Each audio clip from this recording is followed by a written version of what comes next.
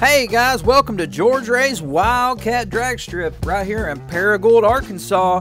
Just want to let y'all know we're starting an Index Points Championship April 16th, 2023. Guys, we're going into our 63rd season of racing, so y'all be sure to check us out.